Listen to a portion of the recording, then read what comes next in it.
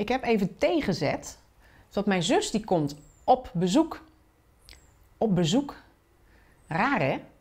Op bezoek. Je zit toch op een stoel?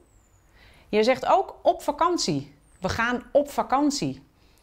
En ehm, ik zit op school.